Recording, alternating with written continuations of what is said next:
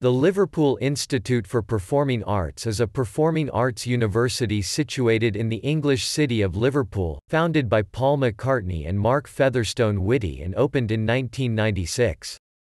LIPA offers 11 full-time BA honors degrees in a range of fields across the performing arts, as well as three foundation certificate programs of study in acting, dance and popular music, and music technology.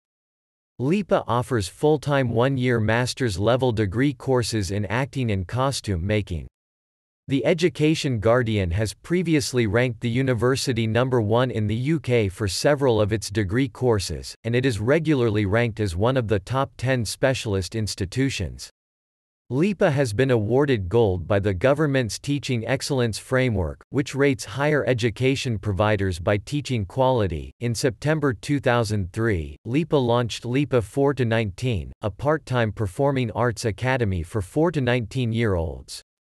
Since then, a satellite school and associate academies have also been launched.